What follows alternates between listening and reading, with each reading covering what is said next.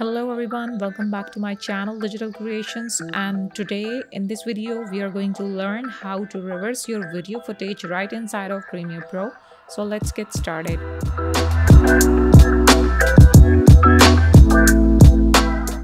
Now guys, we have this clip so we need to reverse the video clip. So this tutorial is for beginners and this is very quick and easy way to reverse this video footage.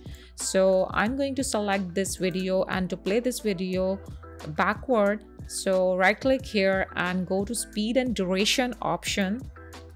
Here the dialog box will uh, pop up here clip speed duration. Simply you just check this box reverse speed option here and click ok and now this clip is reversed so i'm going to render this clip first.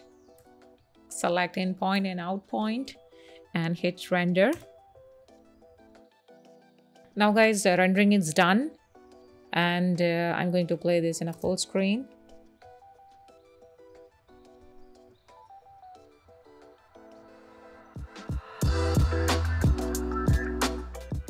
all right guys you see this is the super easy way to uh, reverse the video clip by using speed and duration option.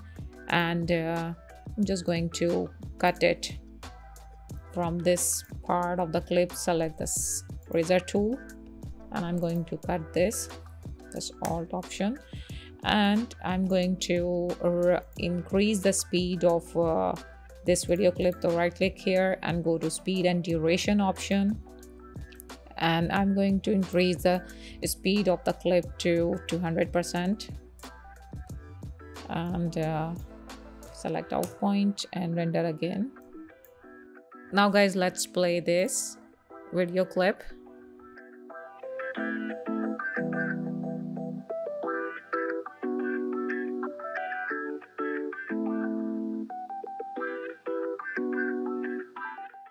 all right guys. Now guys this is super easy to create uh, reverse speed option uh, inside of Premiere Pro so you can play your video backward. So let's take an, another example. So I'm going to import another video clip and uh, drag and drop this video clip. Just this girl is running and uh, I'm going to reduce uh, the speed or speed up uh, by using the rate stretch tool so i'm going to select uh, rate stretch tool here. And uh, simply i'm going to reduce the speed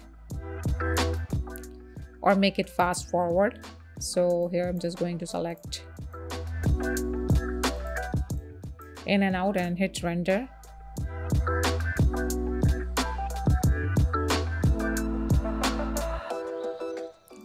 Okay now select this video clip to make a reverse effect so go to speed and reverse duration.